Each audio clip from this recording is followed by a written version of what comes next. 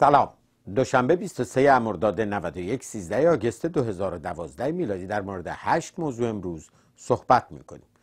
موضوع اول اینکه آمار کشته شده ها در زلزله آذربایجان شرقی به بیش از 300 نفر رسید و 2000 بیش از 2000 زخمی هم گزارش شده اما متاسفانه عملکرد حکومت بسیار بسیار بد و توهینآمیزه.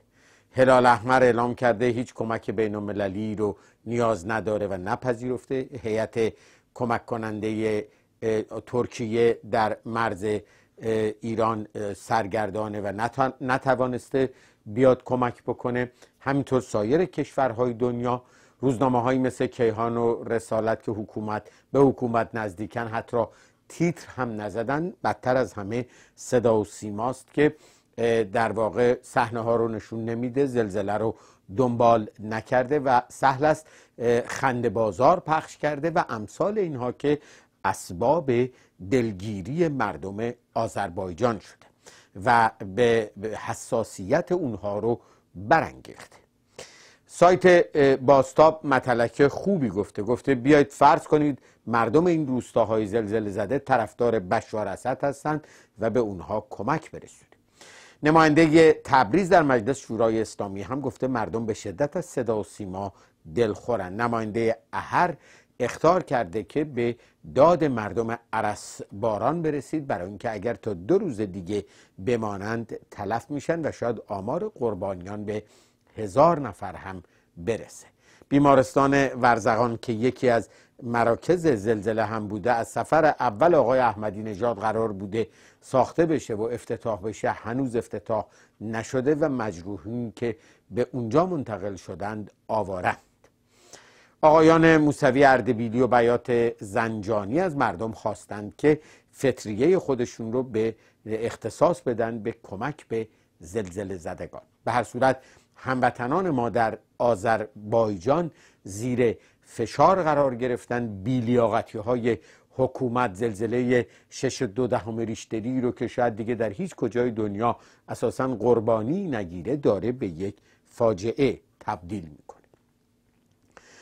نکته دوم این که آقای ناطق نوری رئیس بازرسی بیت رهبری که چندی پیش انتقاد هم کرده بود از مزخرفاتی که راجع به مقدس سازی های عجیب و غریب راجع به آقای خامنه گفته میشه. شب قدر در مشهد در حرم امام رضا قرار بوده منبر بره و صحبت بکنه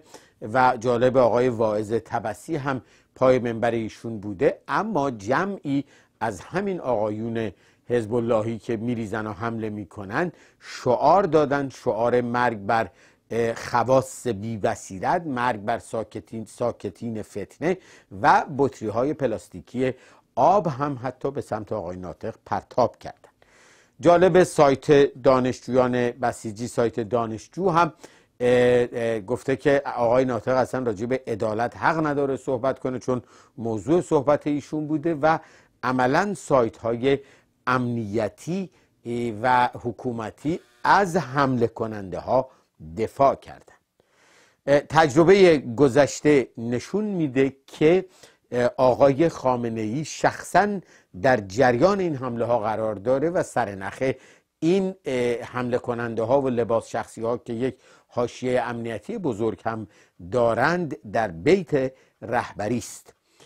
و بنابراین باید گفت که آقای خامنه ای حتی نزدیکترین یارانش و کسانی مثل ناطق نوری رو که در به رهبری رسوندن او نقش بسیار فعال و موثری داشتند رو هم حتی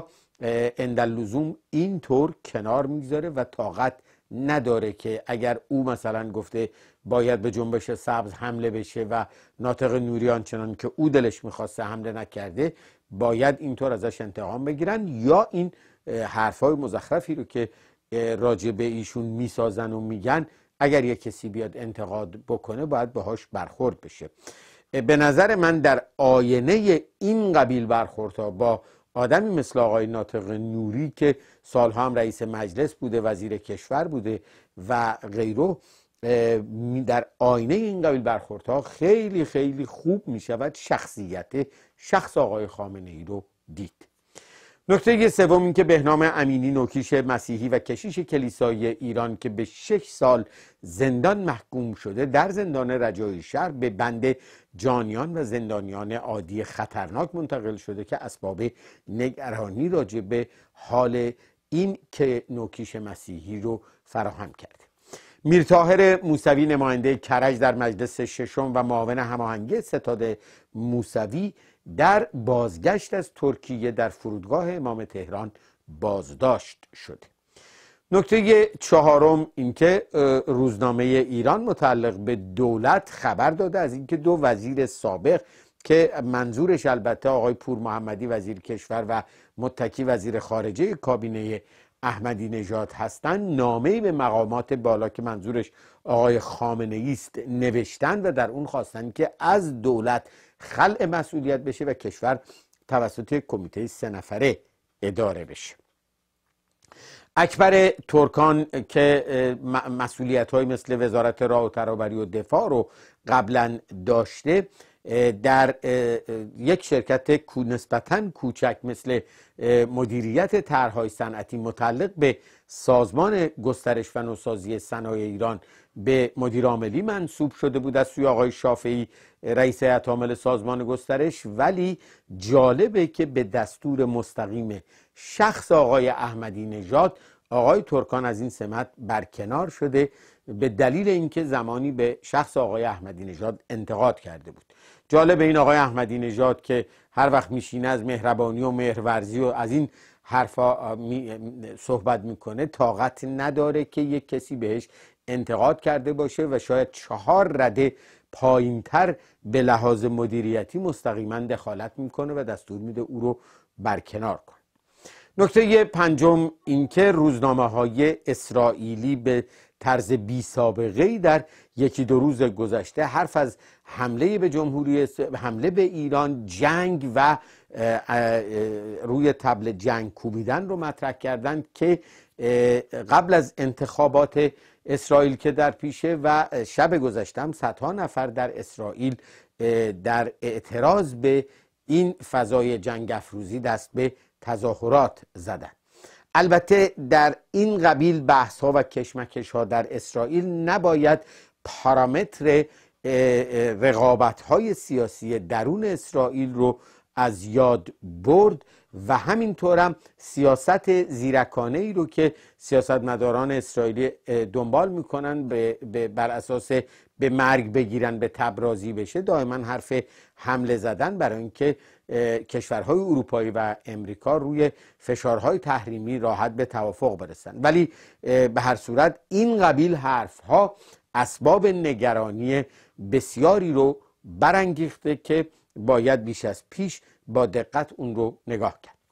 نکته ششم اینکه تازه ترین گزارش اوپک نشان میده از اینکه در ماه جولای تولید نفت ایران به متوسط روزی دو میلیون و هزار بشکه کاهش پیدا کرده. 117 هزار بشکه دیگه نسبت به ماه قبل کاهش پیدا کرده و نسبت به سه ماهه اول سال قبل از شروع تحریم ها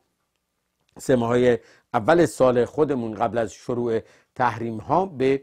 در واقع نزدیک به 566 هزار بشکه در روز کاهش پیدا کرده و نسبت به سال قبل بیش از یک میلیون بشکه در روز تولید نفت ایران کاهش پیدا کرده و به این ترتیب صادرات نفت ایران باید حول و حوش یک و یک دهم تا یک و دو دهم میلیون بشکه در روز برآورد بشه. دلار دیروز در بازار ارز از مرز 2110 تومان هم گذشت و گزارش تانزانیا در مورد کشتی های با پرچم این کشور حاکی است که ایران 36 نفتکش رو با